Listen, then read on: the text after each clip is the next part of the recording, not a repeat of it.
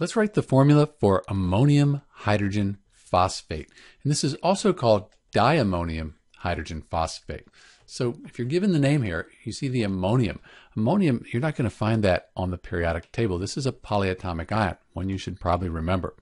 If you're allowed to look it up, you could look it up on a table of polyatomic ions as well. It'd be NH4, and the ionic charge on the whole ion would be 1 plus.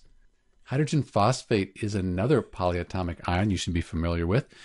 It is HPO4, and the whole ion here has a charge of 2 minus. So that's on the whole hydrogen phosphate ion here.